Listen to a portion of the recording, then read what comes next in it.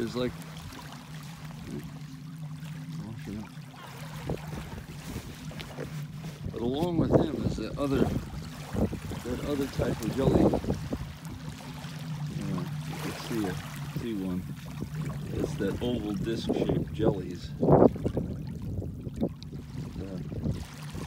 And there's still the ctenophores coming in. Right. There.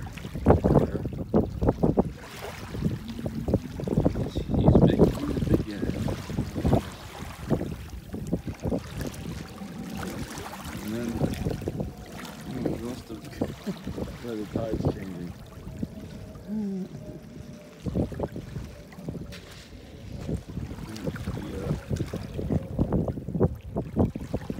Yeah, over there you can see. Yeah, that floating.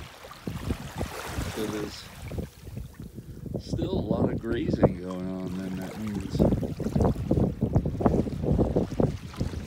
You know? Mhm. Nice sized channeled whelk.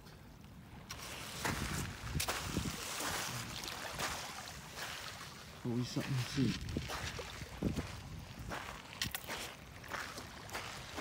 Oh, look, you know.